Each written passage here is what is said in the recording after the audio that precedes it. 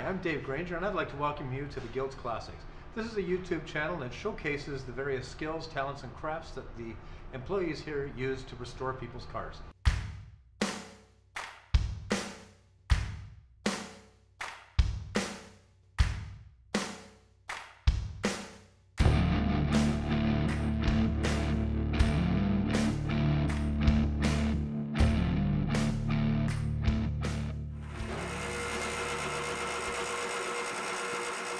Name's Al, and I'm the lead metal worker here at the Guild. And today we are going to be balancing the grinding wheels on a couple of bench grinders um, because uh, almost everybody has a bench grinder somewhere in the garage or in the basement. And when you flip it on, it normally vibrates. And that's actually not the bench grinder 98% of the time.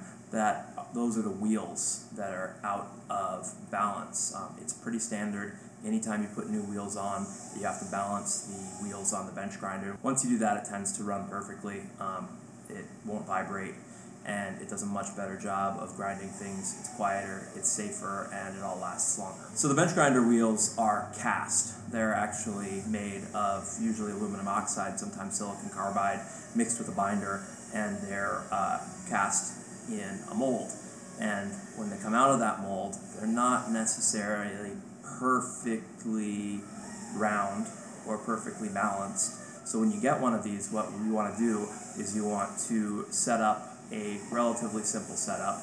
Um, I've used a machinist surface plate for this, um, but you can use any known flat surface, say the top of a table saw, a flat workbench, whatever. You want to level it, and then you want to find a piece of steel shaft or cold rolled bar that fits perfectly in the arbor hole. And what you're going to do is you're going to put that shaft through the arbor hole, and then you're going to set the wheel on a set of straight edges that are leveled, and you're going to allow the heaviest point of the grinding wheel to pull itself down to the bottom. Then you take a marker and mark that. You know that is the heaviest point in the wheel. What you want when you get the wheel balanced is to have no single point be the heaviest point.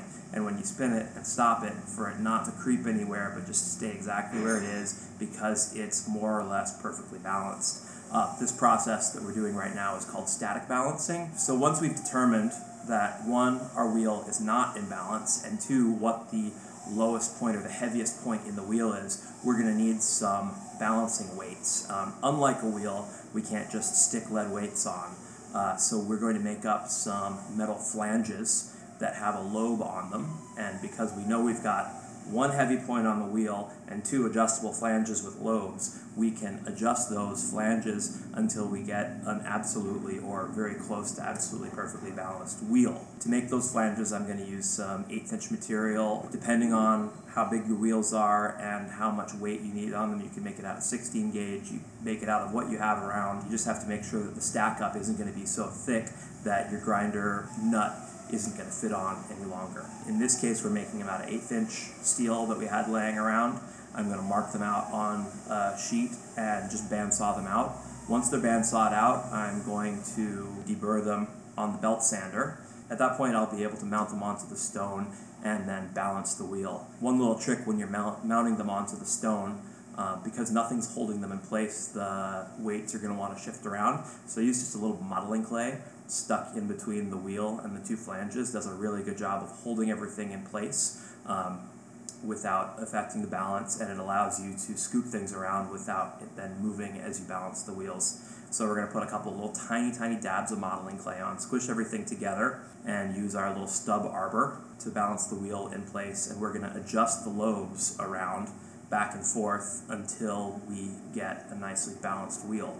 What I like to do is try to keep the lobes sort of across from one another and see that my lowest point is always that black line that was uh, there before. And as I slowly move, adjust each lobe up and up and up and up, at a certain point, I'm going to get to a point where I'll have moved my center of balance of the wheel right on center of the arbor, and it's not going to have a single place that it wants to fall down.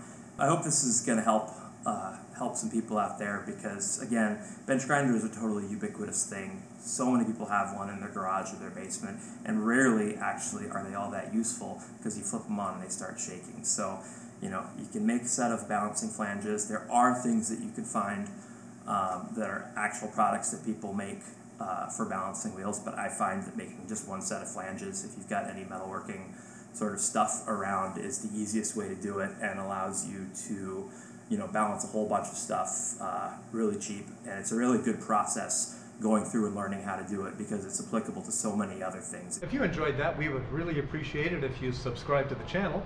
And uh, well, if you'd like to listen to me drone on and on and on, you can go to our podcast listed below.